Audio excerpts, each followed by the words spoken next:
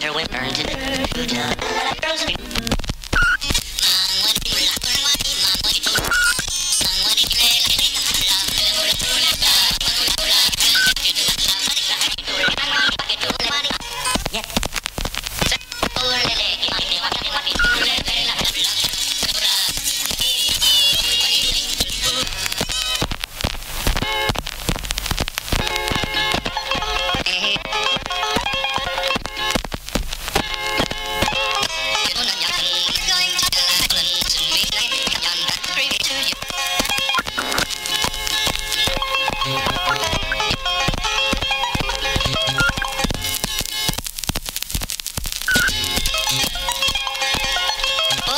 Ever up and down.